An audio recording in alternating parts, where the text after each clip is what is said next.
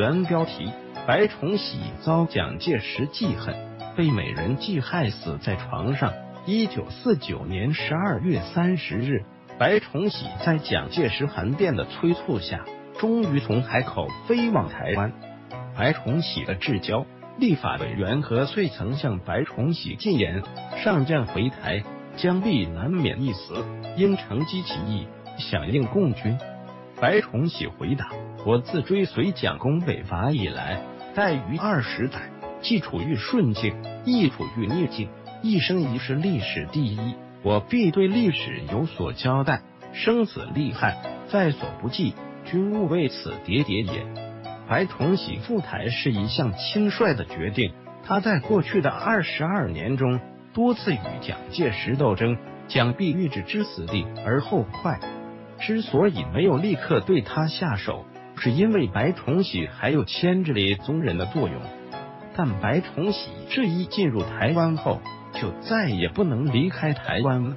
白崇禧到台湾不久，又将家眷二十多人从香港接到了台湾，在台南盖了两栋房子，安置大哥、九哥、六弟、二妹等亲属。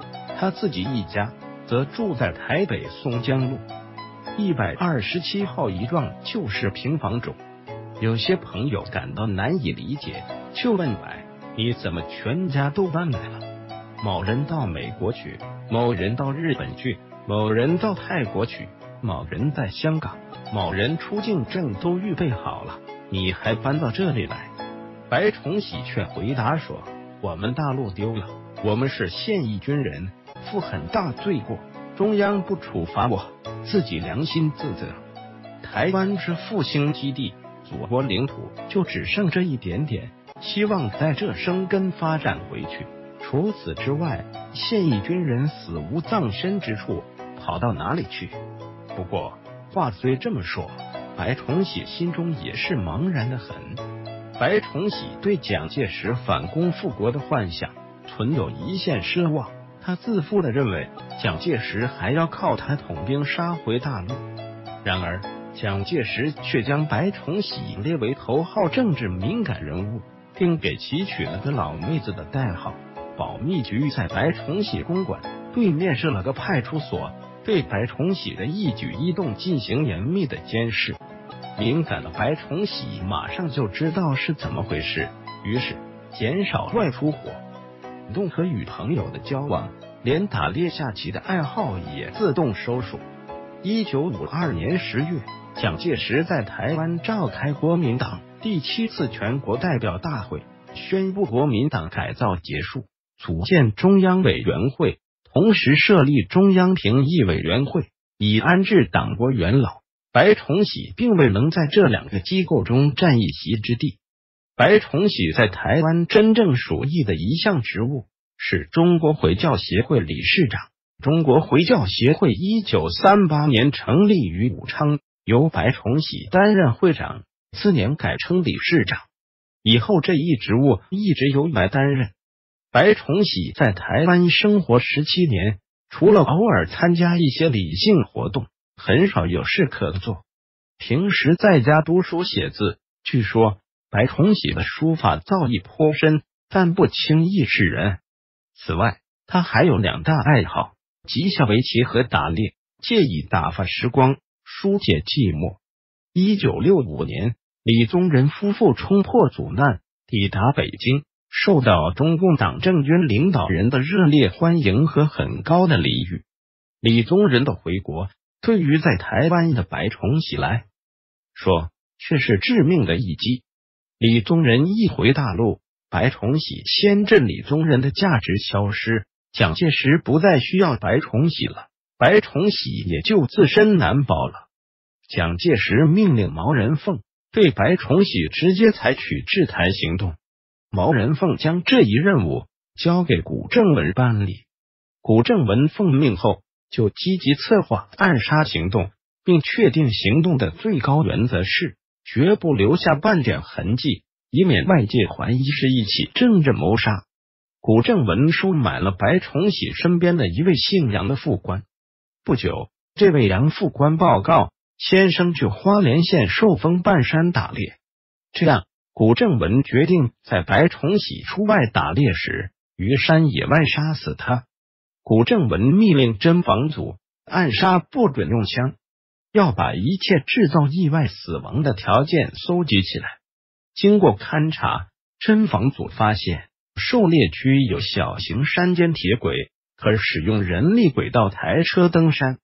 白崇禧当时已年逾七十，不会徒步上山，而一定会乘轨道车。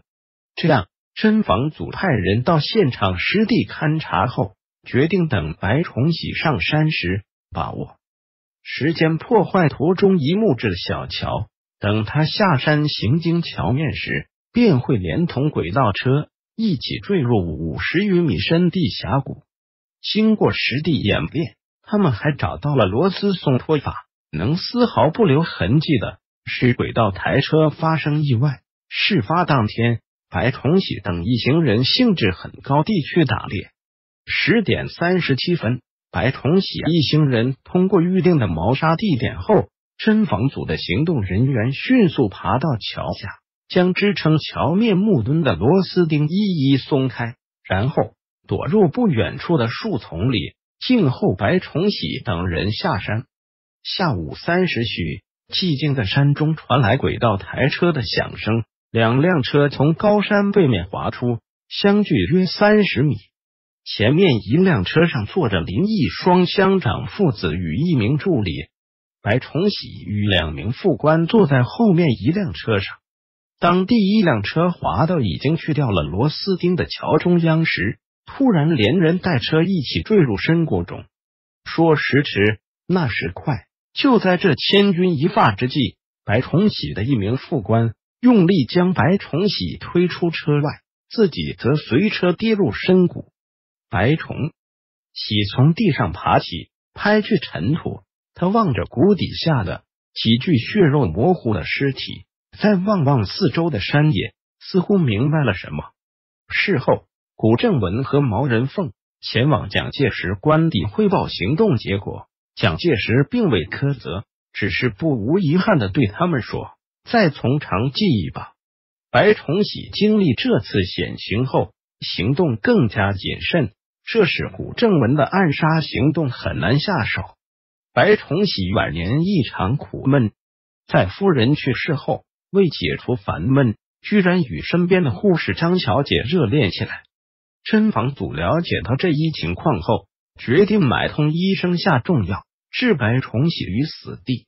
一天，古正文打电话给医生赖少魂询问白崇禧的情况。赖少魂报告说，白将军不是病，他想补。不管他是买什么，你要发挥自己的专长。蒋总统要你多照顾将军，需以猛药起沉喝，重病的下猛药。古正文暗示赖少魂在药的剂量上动手脚，使衰老的白崇禧不胜药力，补不起。赖少魂奉命后，立即给白崇禧开了一帖药力很强的药方。白崇禧照方到天生堂中药店买了两大包药回家泡酒。往后数月，白崇禧似乎从药酒中得利，与热恋的张小姐频繁往来。俗话说。房中之事能杀人，对白崇禧这样一个年逾古稀的老者来说尤其如此。不多久，白崇禧即油尽灯枯。一九六六年十二月一日晚，张小姐与往常一样到白宅夜宿。就在这天晚上，终于发生了悲剧。第二天早晨，白崇禧的副官发现主人赤身裸体趴卧在床，而张小姐早已离去。这位国民党一级上将，叱咤风云数十年的小诸葛，却在失忆中不明不白的走了。另有一说法是，白崇禧的遗体上呈铜绿色，不像自然死亡。保姆曾看到床头柜上主人晚上喝的药酒杯中尚剩有小半杯药酒，但后来药酒与酒杯都不见了。但白崇禧家人自觉此事背景复杂，并未追究。白崇禧死讯传出后，副总统兼行政院长严家淦与国防部部长蒋经国立即派遣国防部副部长马继壮前往白府吊唁，并宣布由国防部负责以军礼治丧。接着，由何应钦、孙可、陈立夫、顾祝同等二百余人组成了治丧委员会，协助办理丧事。返回搜狐查看更多责任编辑。